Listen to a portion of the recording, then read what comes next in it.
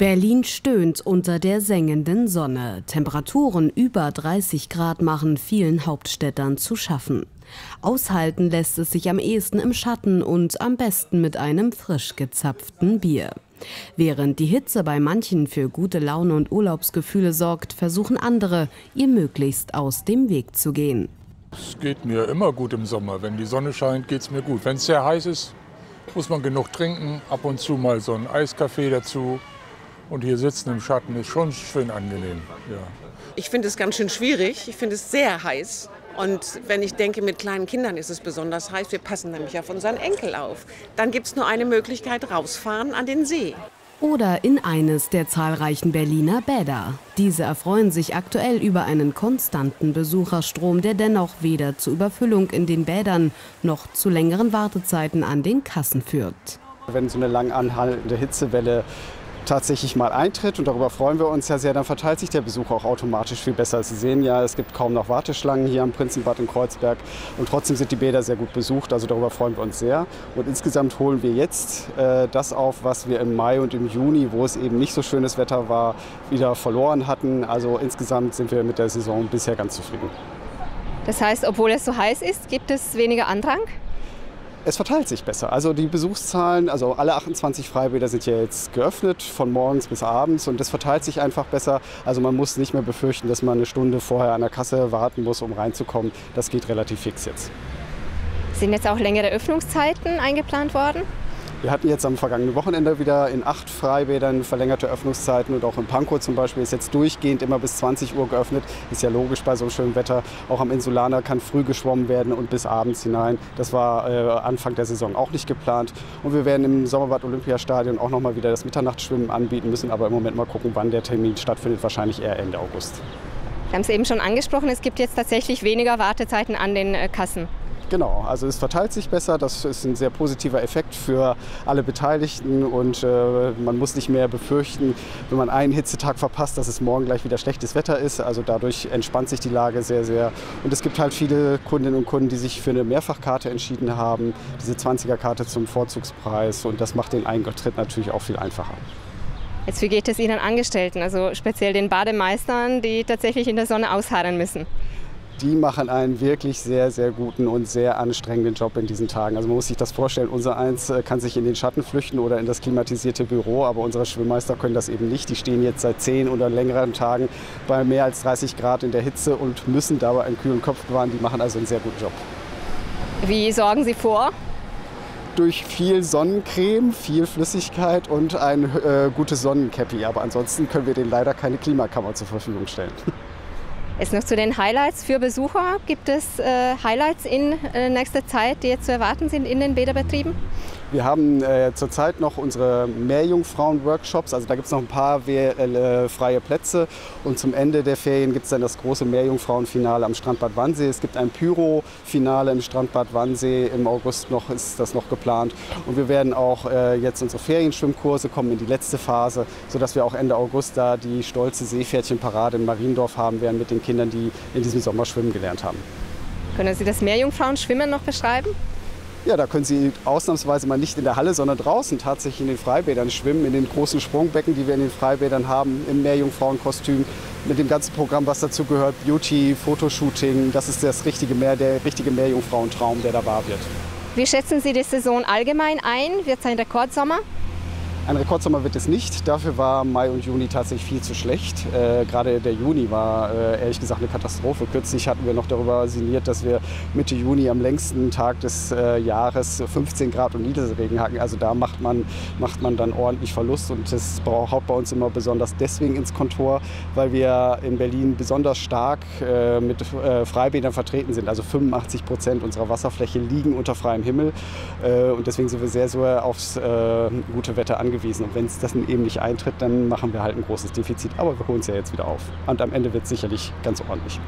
Doch der Sommer hat auch seine Schattenseiten. So kommt es aufgrund extremer Austrocknung des Bodens schneller zu Waldbränden, was die Noteinsätze der Berliner Feuerwehr deutlich erhöht.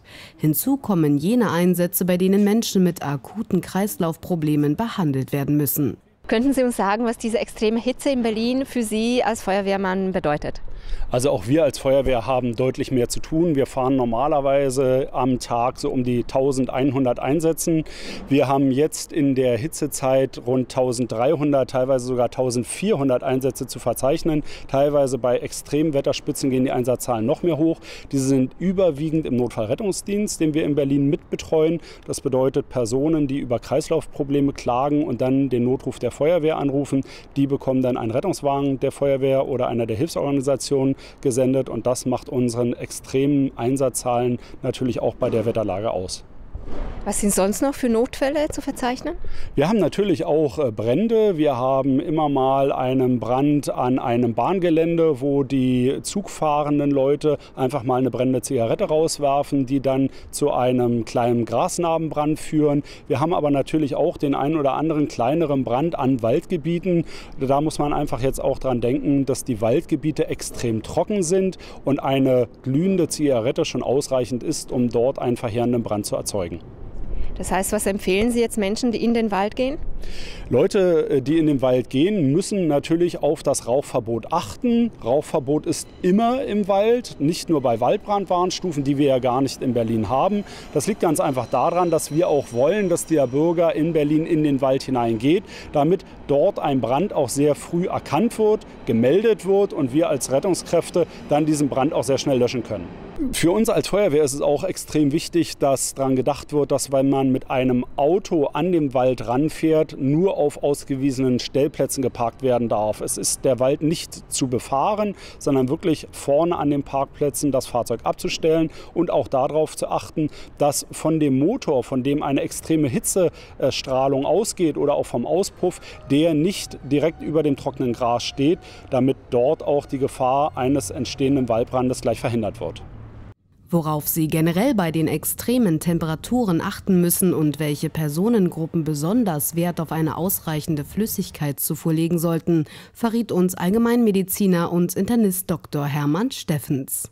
In erster Linie sind das natürlich ältere Menschen, ähm, die erstens mal nicht mehr so ein ausgeprägtes Durstgefühl haben, dann sowieso weniger eigenes Wasser, weil weniger Muskeln im Körper äh, sind haben.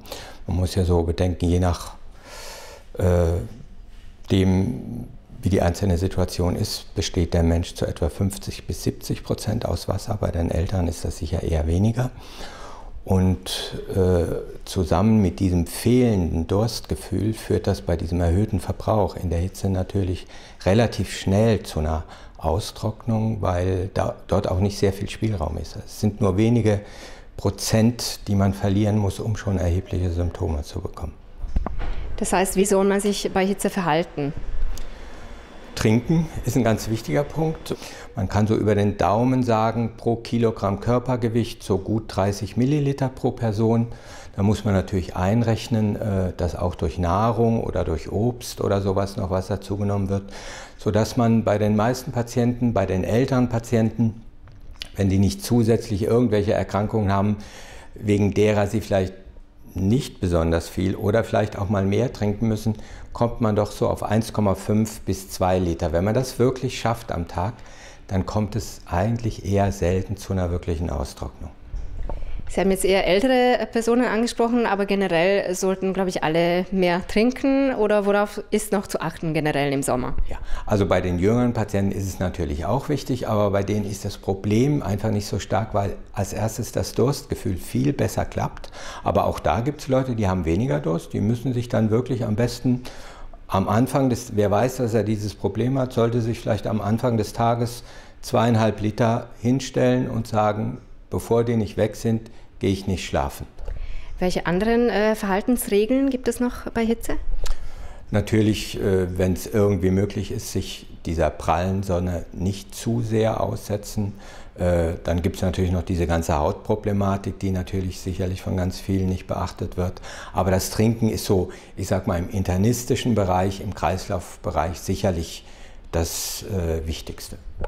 Äh, Stichwort Haut, äh, das heißt nur mit Sonnencreme in die Sonne gehen? Ja, also erstmal das und es gibt ja auch unterschiedliche äh, Typen von Menschen, je nachdem, äh, wie die Haut beschaffen ist, äh, kann der eine sich mehr, der andere weniger leisten. Aber insgesamt äh, wird das sicherlich noch ganz, ganz häufig, insbesondere hier sind besonders die kleineren Kinder betroffen, häufig nicht gemacht. Das ist sicher ein ganz, ganz wichtiger Punkt, dass man einen hohen Sonnenschutzfaktor benutzt. Und selbst wenn es wiederum Leute gibt, die sagen, wir müssen unbedingt in die Sonne wegen Vitamin D, das ist ja auch ein Problem, aber im Zweifelsfall sollte man dann lieber eher ein bisschen Vitamin D schlucken und nicht so viel in die Sonne zu gehen, als sich hier ernsthafte Schäden zu holen, die ja auch hier bei uns in Deutschland zunehmen. Genügend trinken, die pralle Sonne meiden und auf ausreichenden Schutz der Haut achten. Dann kann man das schöne Wetter in vollen Zügen genießen und denken Sie daran, der Sommer geht ohnehin meistens viel zu schnell zu Ende.